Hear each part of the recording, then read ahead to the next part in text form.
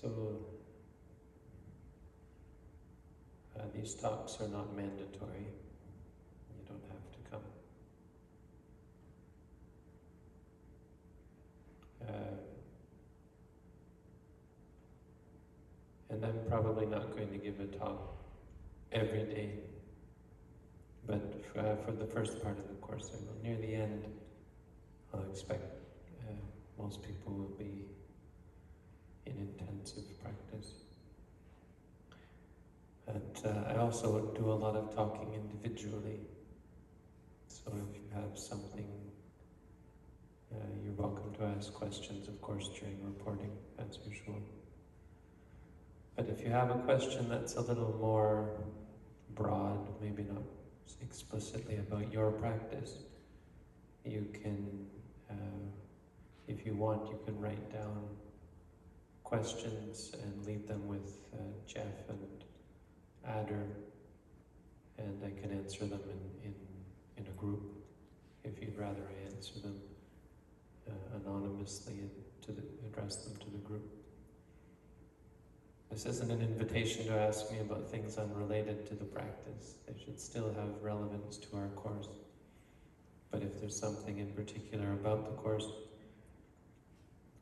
you're welcome to suggest or, or something you're interested about, you'd like me to talk at length.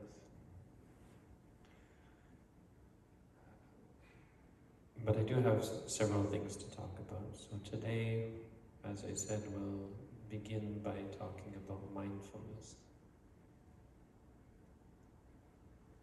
So starting with mindfulness is for the purpose of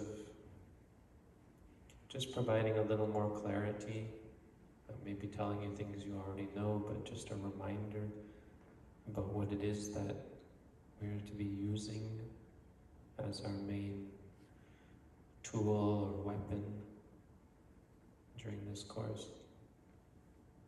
Because it's easy to get off track and uh, develop bad habits if you start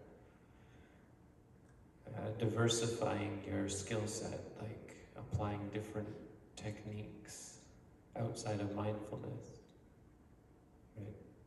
We can develop bad habits if we forget that uh, we're to be mindful. So always remember that really the only tool that you should be concerned with is mindfulness. So the first thing to talk about is maybe a reminder, but for some of you maybe new information about what mindfulness actually is. As I've said, uh, the word mindfulness isn't a great translation. It's not a literal translation, anyway. Sati means the ability to remember, or the faculty of remembrance. So someone who's able to remember things that happened a long time ago has a lot of, has good mindfulness, strong mindfulness.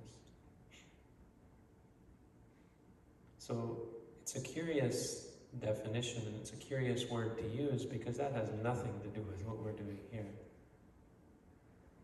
But that faculty of being able to remember is meant to refer to our capacity to keep something in mind.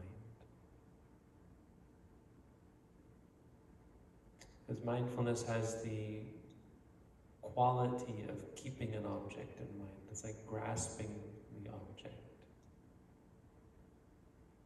rightly, firmly. Something to keep in mind keep in mind, in the way we say it in English, that um, mindfulness is a more literal keeping in mind. So I often talk to you about um, not reacting to your experiences, uh, not, not diversifying your experiences, not making more out of your experiences than they, than they are. Those are the sorts of things that we mean when we talk about mindfulness. that, that's a sort of a brief explanation of why we use the word sati, which doesn't mean mindfulness, it means remembrance or the ability to remember or something like that. But more explicitly or more uh, more detailed, we have what is called the Lakan Adi Chatuka which is just a fa fancy Pali word for a fourfold defining of something. So rather than just giving you a bunch of words that are the definition of it, giving you some explanation of what it means, they go deeper than that and say, of all the Dhammas, they try to take every Dhamma, every mental quality, every reality, and identify four factors, starting with the lakkhana. Lakkhanadi Chatuka means the fourfold factor, starting with the lakkhana. So if we look at the Lakkhanadi Chatuka of Sati, which just means, you know, the, the, the commentarial definition of Sati, it gives us some interesting insight into why this word, what this word means. And it helps us get a sense of at least how the ancient teachers that followed after the Buddha, how they viewed mindfulness, how they, they viewed this word. Uh, you'll see, I think it's quite useful to help you pinpoint exactly what it is you're doing here.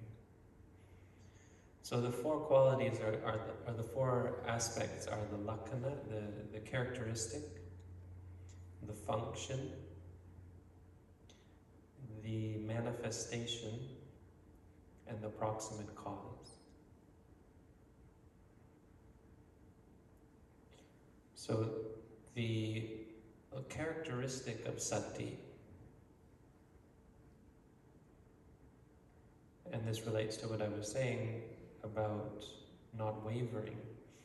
The characteristic of sati is well, not wavering. The, the, characteristic of a mind that doesn't waver that doesn't flit here and flit there, that doesn't, um, in Thai they say doesn't float, because the, the, the analogy is of a gourd or an, an empty pumpkin floating on the, the ocean. A gourd will float on the water, and if the wind is blowing, it certainly won't stay put A mind that is unmindful uh, floats. It drifts, is the word. The mind drifts here and drifts there according to the wind. So you can see how your mind does this normally. The mind experiences something, but doesn't stay with it. So we might say it doesn't remember, it doesn't, it, it forgets the object. Like when you say to someone, you forget yourself.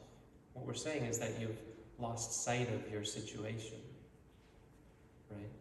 Like if, ser- if a servant starts spouting off to the boss or something, like, uh, uh, or an employee starts mouthing off to the boss, you might say, you forget yourself.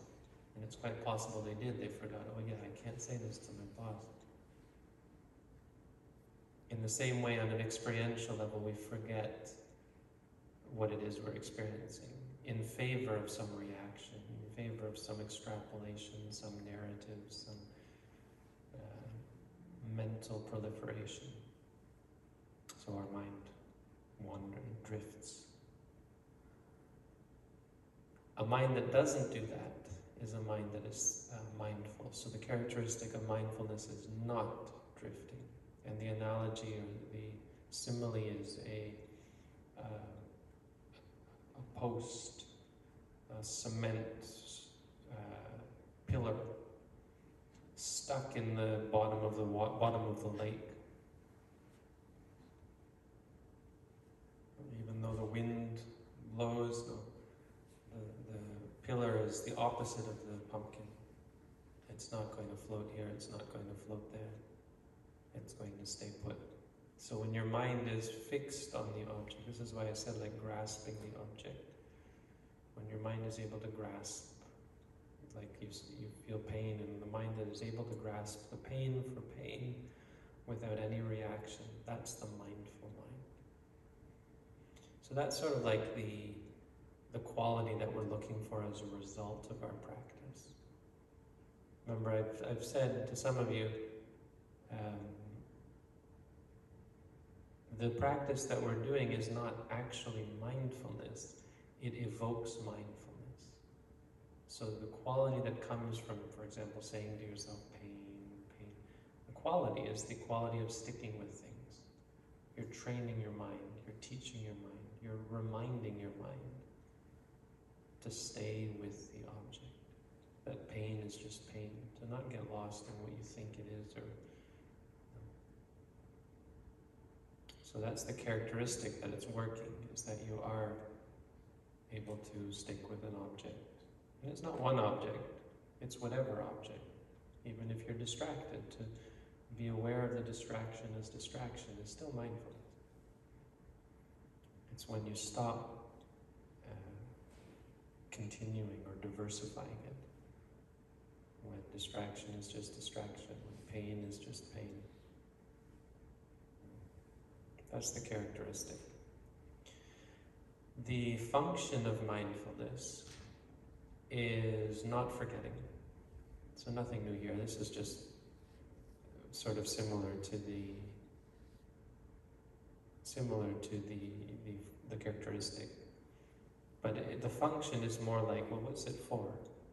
It's for not forgetting. it, so that you don't get lost, so that you don't forget yourself the ability to uh, experience something just as it is. But the manifestation, manifestation is quite interesting. The twofold manifestation. One, it has the manifestation of guarding. So some of the discourses talk about mindfulness as being like a, a guard at the city gate the guard at the city gate doesn't prevent people from entering, but the guard at the city gate stops problem people from entering, or stops entering, or stops problems from entering, stops the enemies, makes sure that there's no trouble, that troublemakers aren't coming into the city. And so mindfulness is like a filter in some ways, like this guard that stands at the gate and lets people pass, but makes sure that it's only the people doing legal business, right? Thieves aren't coming in, uh, maybe wild animals aren't coming in. But with the mind, it's the hindrances or the defilements. Because our mind, the experiences that we have are not defiled. Just because you have a thought about something bad that happened in the past doesn't mean you have a problem. The thought is just an experience. If you have a thought about something that's in the future, maybe a, a, a deadline or an exam or something like that, the thought itself isn't a problem. You can let it go in. But what follows it in is the anxiety and the trauma and the uh, reactions to it. And that's what uh, the mindfulness keeps out. So mindfulness doesn't stop thoughts from coming, doesn't stop your pain. When you say pain, pain, it doesn't prevent the pain. Pain can go through, but the disliking of the pain, that's what we've got to keep out. Keep it out of the city of our mind. And the other uh, manifestation that is also an important part of how it manifests itself, is as confronting our experiences. So I've talked about this before. Confronting is kind of a, yeah, you, the word confronting probably isn't exact, but it's probably, I think it's as close as facing actually. Facing is a better one, almost literal translation. Facing your experiences head on, we might say so not quite confronting in, in, a, in a antagonistic way, but facing in a strong and, and unshaken way. it's kind of special in that our ordinary way of dealing with things is usually to fight or flight, right? It might be a little simplistic to say fight or flight, but fix, right? Um, solve, as though it's a problem. Our experience we see as problems, and so we try to fix them.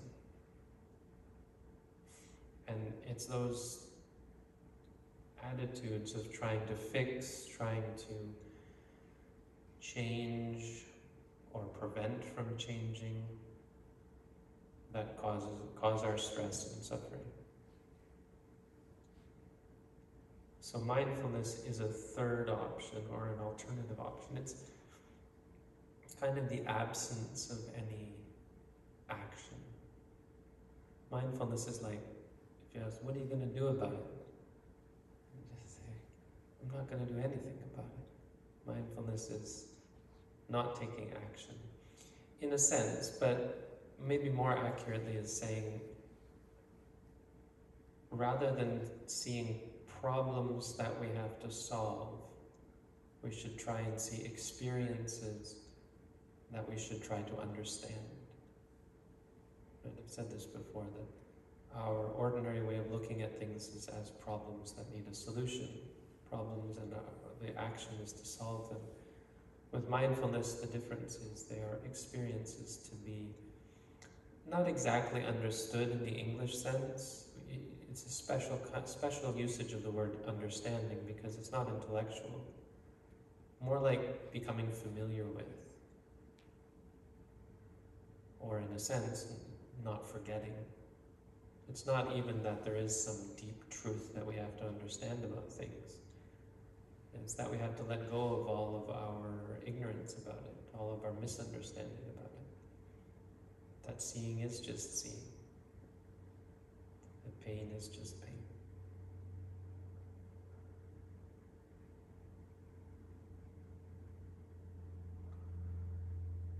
So mindfulness manifests itself as this state of mind where you face your experiences, and that's it. Not face them and talk them down or make them go away or something. It's very much associated with patience. It's a very special kind of patience. Ordinarily, we would say patience is where you bear with something you don't like, or we could even say you like it, but you hold back, right? But mindfulness is special because it's the absence of liking things that are attractive and the absence of disliking things that are repulsive. It's a state of being with your experience, free from any reactivity, free from any judgment. In a, in a sense, it's the greatest happiness, or it's the the greatest sort of mind state, the greatest sort of peace that you can find in the world. Because you're not dependent on your experiences being one way or another way. Only when this goes, I will be happy. Only when this comes, I will be happy. Mindfulness lets you be happy regardless of what you experience. It's the and and another quality of facing, which makes this so special, is how strong it is. Think of how many times in our life we've said to ourselves, I just can't face that. I can't take it. I can't stand it. I can't bear it. I can't wait. You know, so many can't, can't, can't because we're weak. It's not an indictment, it's just a uh, admission. We are weak. And we try to be strong, we find ways to be strong, but that sort of strength is caught up with ego, right? It's caught up with conceit and arrogance and brashness and anger. How are we going to be strong? We're going to just get really angry at the things we don't like. And anger is a weakness. Anger makes you sick.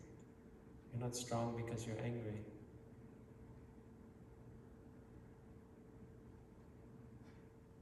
Mindfulness is a special sort of strength that doesn't require you to force things or push or control yourself. It's like the ultimate power. There's a story of the Bodhisattva, and it's about patience, which is a similar sort of thing. But uh, the story goes that this king got very angry at him. I'll just cut right to the chase. So, just summary summary of it is this king cut off his ears and cut off his uh, nose and his. Uh, the king was very. The king accused him of of uh, stealing away his his uh, women, his harem or something, and so he and the, and the Bodhisattva just, he asked the king, he said, What, do you think my patience is in my ears? And he cut off his hands. Do you think my patience is in my hands? It's a quality of mind that, that makes you invincible. Can't stop experiences, but you become free from them. You become unaffected by them. Like the saying in the Mangala Sutta, Puttasa loka chittangyasana kampati. The greatest blessing is when you're touched by good things and bad things, when a person's mind doesn't waver, isn't moved by good or bad, by the pleasant or unpleasant, by the attractive or the repulsive. That's the greatest blessing. Mindfulness gives us this power that you would think is impossible, the power to face anything. So many things we think I could never face that. Mindfulness gives you the power to face it. You don't have to fix it. Doesn't doesn't doesn't immediately fix your problems. It just helps you see them not as problems.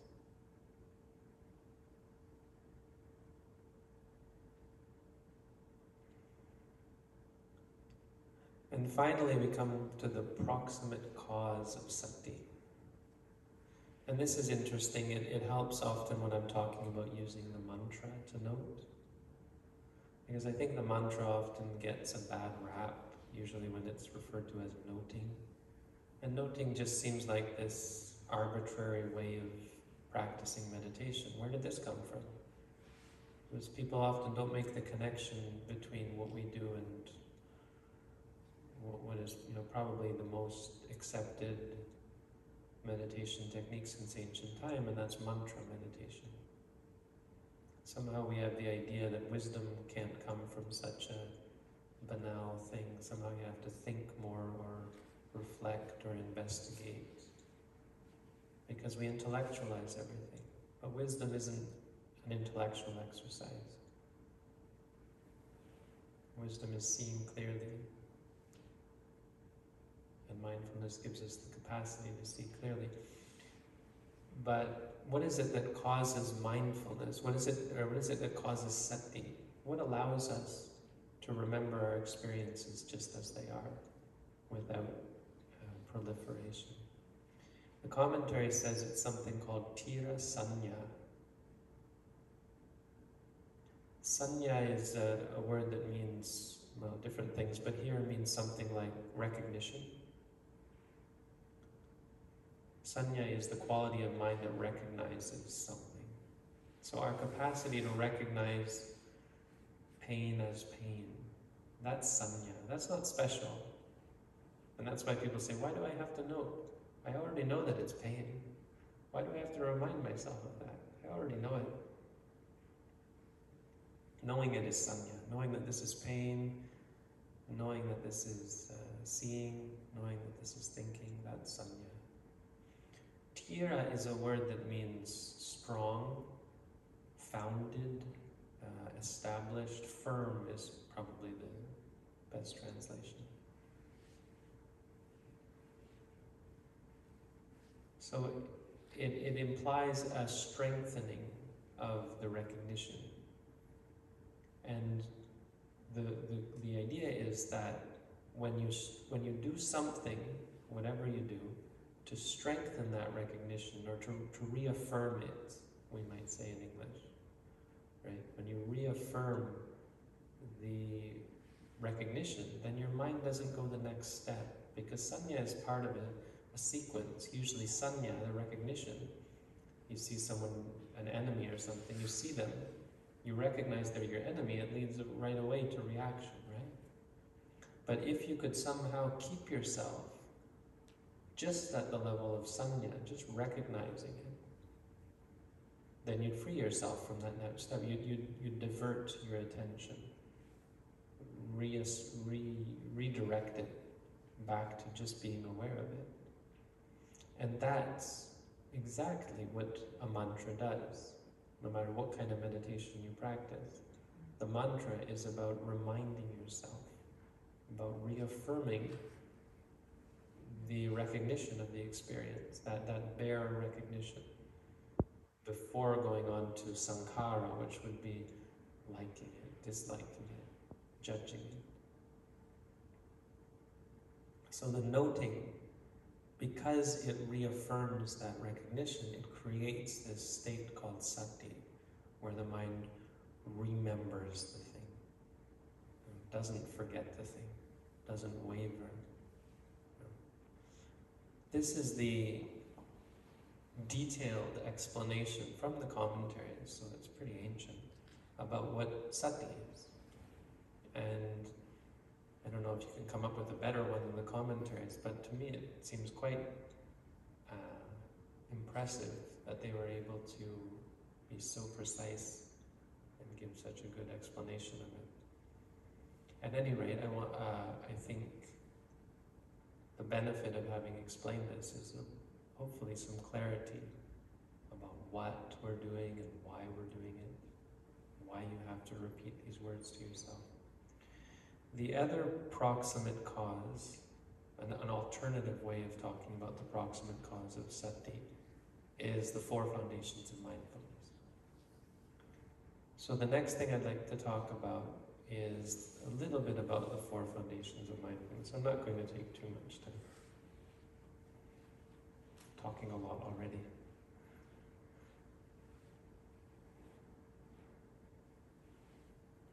But I want to address why we have the four foundations of mindfulness and what significance they have.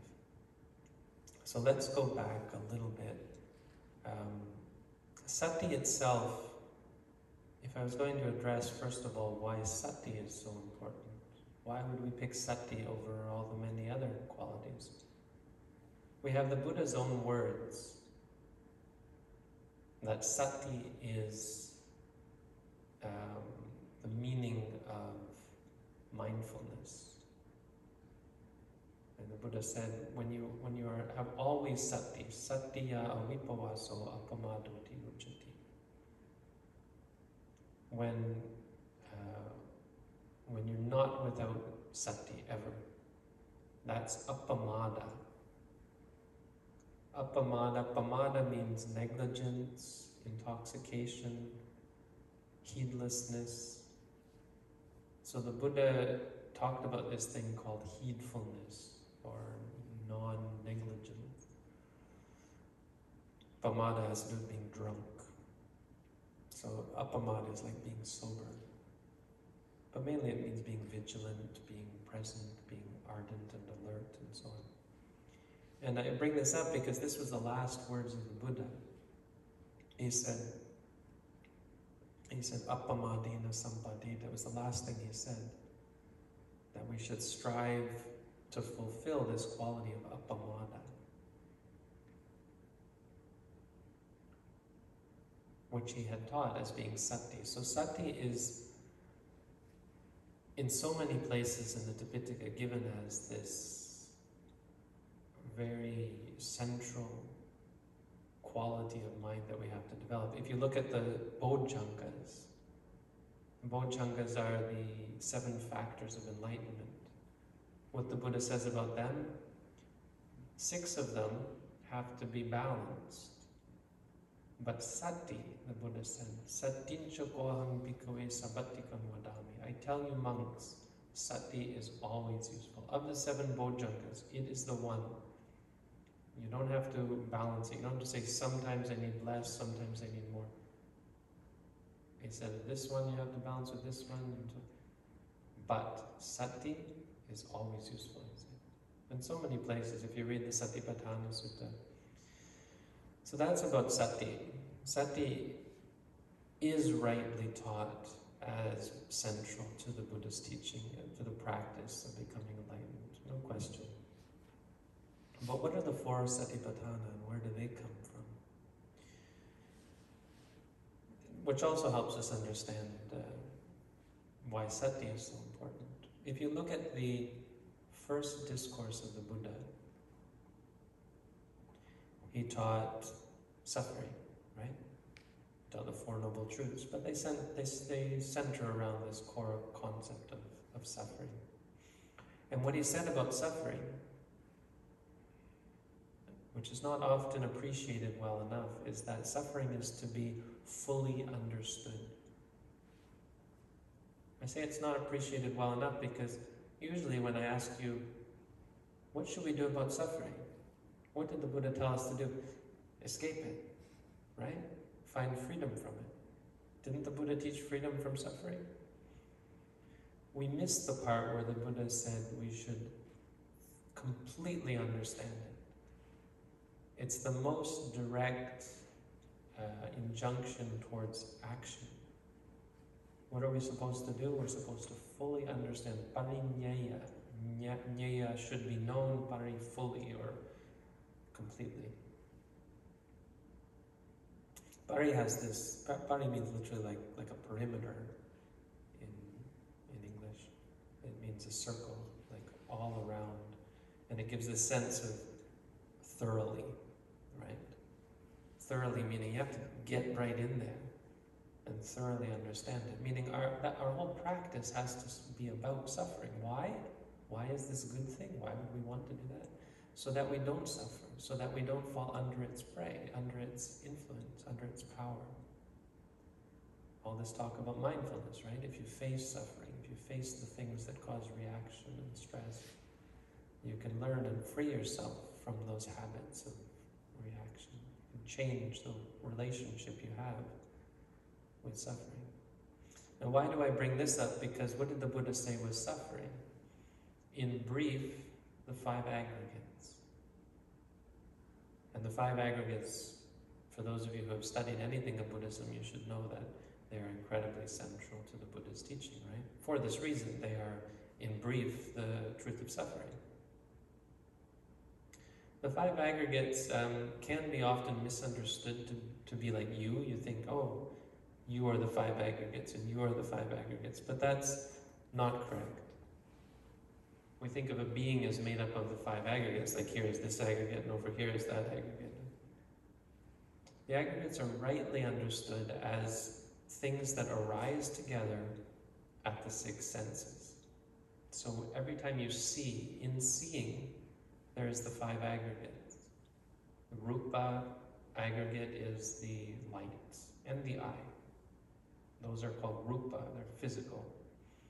Vedana, well, at the eye, technically it's a neutral feeling, but you also feel happy about what you see or unhappy, so there's pleasant or painful feeling. But painful feeling is mostly like physically, you, you, you might feel pain because of the physical experience. That's Vedana.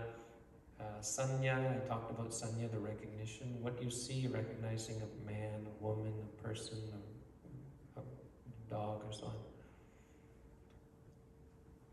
Sankhara is what you think about it.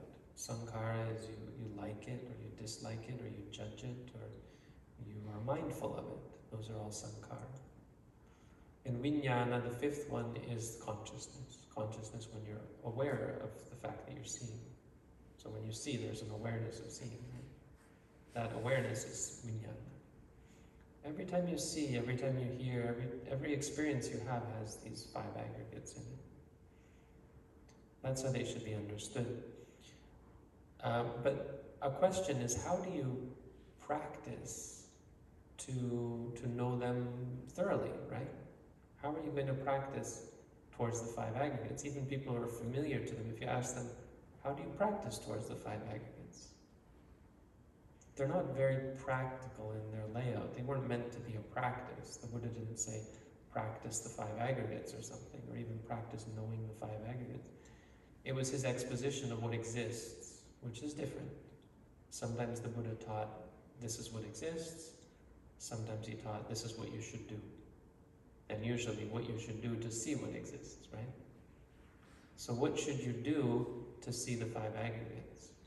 That's the four foundations of mindfulness. It is. That's you won't find anything else comparable to the four foundations of mindfulness. It's clear that that's what they are, that's what they're for.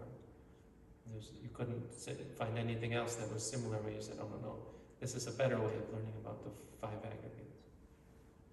Especially because really the four foundations of mindfulness are the five aggregates, right? Kaya is rupa, Vedana is Vedana, Chitta is Vijnana. You might say Sankhara as well, but let's say Vijnana. And Dhamma is everything really. I mean, it includes Sanya and Sankhara, but it includes all sorts of stuff. Mostly Sanya Sankara, Especially the hindrances being Sankhara, right? But the difference is the four foundations of mindfulness are practical. You practice them. It's laid out as a practice, not as a theory of what is or an explanation of what is. It's describing a practice and several practices. So that's the reason for the four foundations of mindfulness. That's, that's what it's for, and that's what you're doing.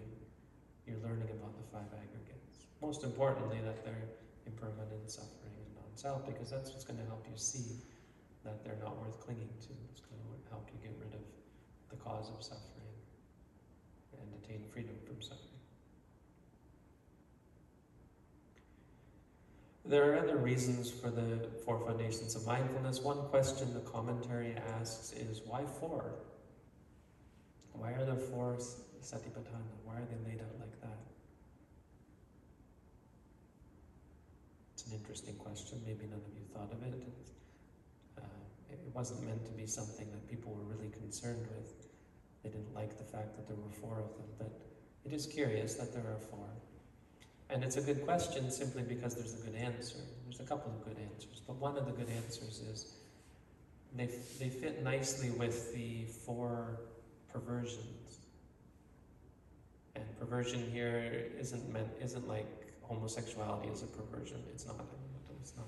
But like how people would say something like that, or or um, I don't know what people say pornography is. I mean, it's not um, something that is disgusting or something like that. That's not the, the meaning of perversion here, where some people, where people find certain things perverse, like other religions. I, I, I say that because I sound like maybe, oh no, maybe he's getting all religious on his perversion.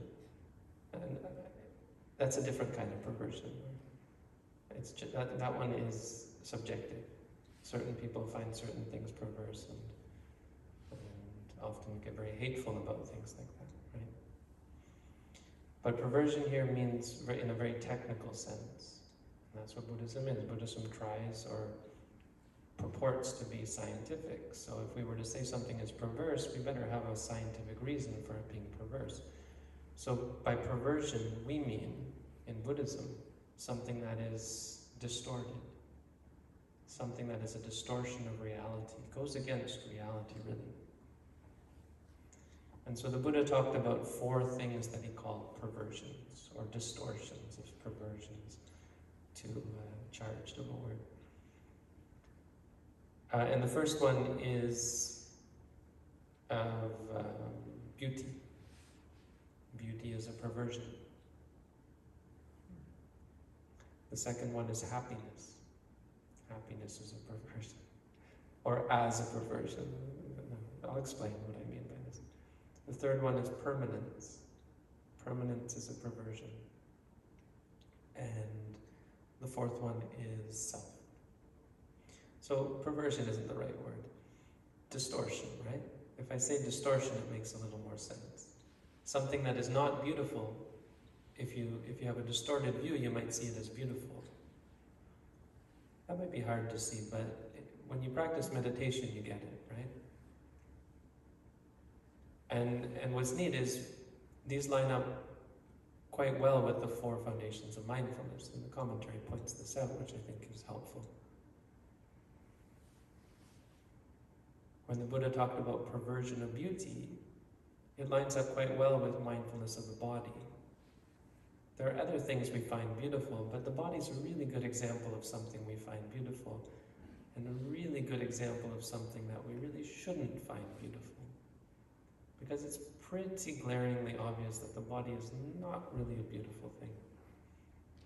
And in fact, we're so messed up, kind of, that we at once find it grotesque and beautiful at the same time. Right? We say, oh, body is so beautiful. But give it a few days.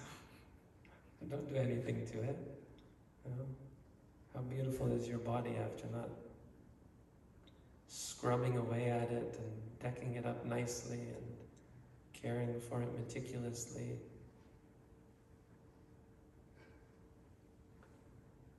The body, the Buddha said, is like a bag, a, a sack, with a sack full of putrid, oozing refuse with nine holes. The body has nine holes in it, and it's oozing from these nine holes. One monk, I said, one, one monk I heard, the teacher, he, he said, he suggested to us that we're like a walking toilet, a walking porta potty or something, full of urine and feces. As we walk around, it sloshes out sometimes, oozes out. Now, we're not meant in this practice to see the body as something grotesque, but it is kind of perverse that we are so, like, go around someone who has bad body odor, right? It just nauseates you. It shouldn't, but it does. Why? Because you like the good smell. Not the body smell, but the smell of the body covered in perfume or shampoo or whatever. Why we have kiwi shampoo and so we want to smell like kiwis because our body smells very, very bad. Let your hair go for a while, it gets greasy and flaky and our teeth start to rot, our teeth smell really bad, our mouths smell really bad, right?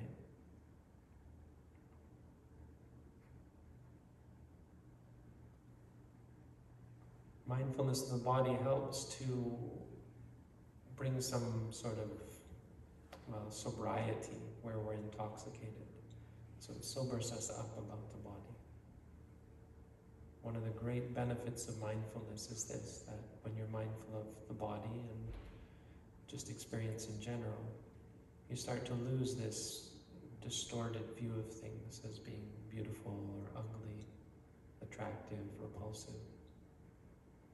You're no longer buffeted, right? You're no longer like this pumpkin on the water floating around, drifting, whenever buffeted by whatever wind is pushing you. It's such a relief when the body is just the body. When you free yourself from that. And as you guessed, maybe the second distortion fits in nicely with the second foundation of mindfulness. The second distortion is the distortion of happiness. So, specifically, seeing things that are not happiness as happiness. Or it might be easier to understand as not satisfying as satisfying, because that's the reason why we say they're not happiness. It's not that certain experiences aren't pleasurable, pleasurable. It's that even pleasure can't satisfy us and doesn't actually make us happier. If you think of it like that, like having experienced all this pleasure in my life, am I a happier person for it? The answer is most definitely no. You're a more stressed person, a more anxious person, a more unpleasant and unhappy person. So when we're mindful of Vedana, mindful of pleasure, mindful of pain, mindful of calm even, we're able to see the uncertainty of it and the meaninglessness of it. That pleasure doesn't actually help us, but what really doesn't help us is liking the pleasure, liking the calm. When we like good things, that doesn't make us happier. It makes us more dependent.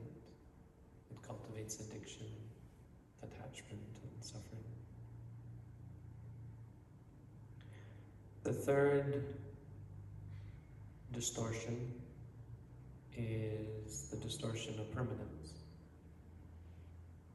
This fits nicely with mindfulness of the mind because the mind is it's the least permanent thing about us, and yet it's the thing that we think of as permanent, right? Okay, the body, yeah, this isn't the same body, but surely this is the same mind. I was born with this mind, I'm going to die with this mind. That's what we think. That's a distortion. That's that's perverse. perverse because it's wrong. It's not right. It's not the truth. It's a distorted view. The truth is that mind is is a experience that arises and ceases. And through the practice of mindfulness of the mind, you'll see that, right? Thinking about this, thinking about the future one moment, thinking about the past the next, focused one moment, distracted the next moment. On, on one track of mind, and suddenly, boom, something else comes up. You think, well, I was thinking about that. Where are you taking me?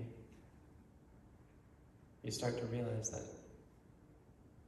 there is no lasting thing. Mind is something unpredictable and impermanent.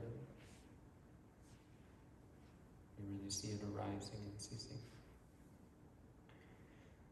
And the fourth distortion fits with the fourth satipatthana, mindfulness of the Dhamma. So the Dhamma is a little bit complex because there's a lot of things in it, but one really good way that this addresses the distortion of self is in regards to the hindrances, and by extension, really all of our mind states. Because we think of ourselves as being angry, think of ourselves as wanting things, our worries, our, our doubts, our emotions in general are very much a part of our identity. And furthermore, they cloud us, they prevent us from seeing reality.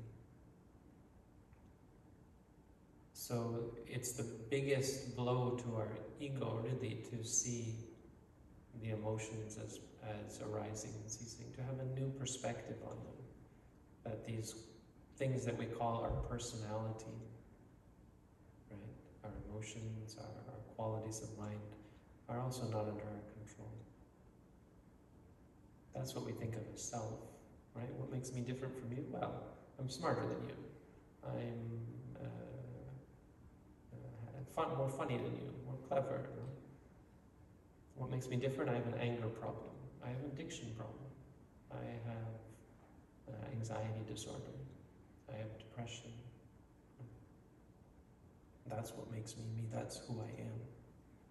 But it's not. And these things are not, they don't define us. In fact, they teach us that there is really no us per se. Us is just an idea that comes up. What there is is experiences and reactions to those experiences. So when we focus on these emotions, we start to see, oh yes, these things are not me. They're not under my control for sure. They're unwieldy, unmanageable.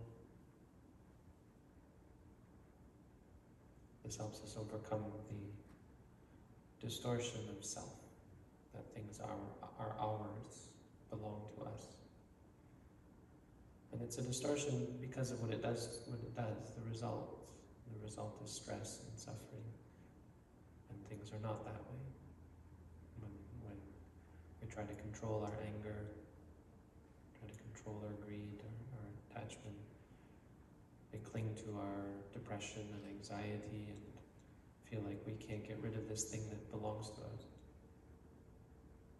Once we see that it doesn't belong to us, this new perspective allows us to be free from it. Anxiety doesn't have to cause a reaction. Anger doesn't have to cause a reaction. They are just uh, emotions that come and go.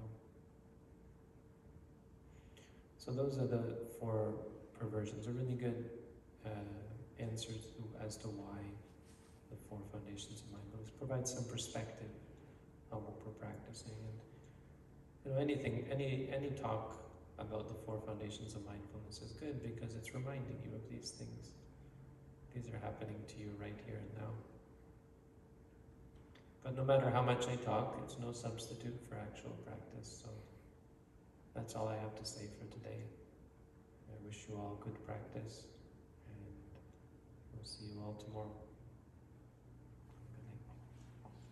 Good night.